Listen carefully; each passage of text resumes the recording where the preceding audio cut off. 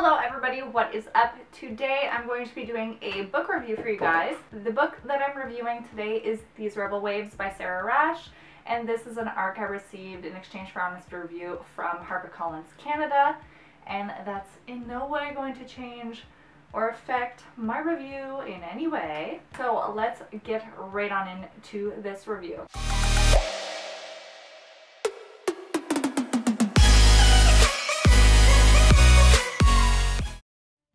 Off by giving you guys a summary of the book and then go on to what I liked and what I disliked. This is a YA fantasy with three point of views, three different main characters. This is about a little island called Grace Loray that is um, full of magic. They have these magical plants that grow naturally there and they overthrow their oppressors, Argrid, and this is pretty much what happens five years after the war has ended. And things are not going as smoothly as anyone thought they would after the war. Um, at a peace talk or peace meeting, a delegate from Argrid goes missing and things get heated real quick. This book is really about what each person is willing to do for their country, um, for peace. The first main character, Adaluna, or Lou, was a child soldier. She was a spy and she also did some naughty, naughty things uh, during the war since her parents were like the two heads of the rebellion. And then we have Vex. And Vex is also a naughty naughty boy. He is a pirate or a stream raider. Um, and he and his crew have been on the run for a long time uh, because they've been doing bad stuff and everybody wants to catch them. And then we have Ben, who is a prince of Argrid, but he is also a heretic. He doesn't believe the same things as the rest of his country does. Um, he does not believe that Grace Loray's magic is evil, and that is a very dangerous thought for him to be having. And if anybody finds this out, he's going to be Lou, being the daughter of these two rebels turned politicians, feels very responsible for trying to make things work. And one day, when things are kind of turned around during a peace meeting, Lou decides to enlist the help of Vex uh, to try and find a lost politician. So they're all on the run, pretty much. Everybody's on the run. And you see how their lives intertwine. I ended up giving these Rebel Waves 3.5 stars.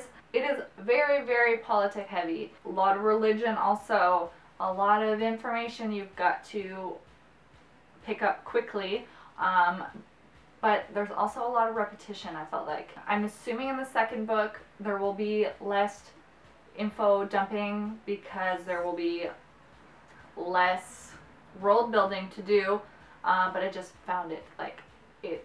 Most of the book is politics. It, this is a very slow start. It didn't pick up until about 100 pages. For those of you that are wanting to pick up this book because everybody's calling it a gay pirate book, it's really not.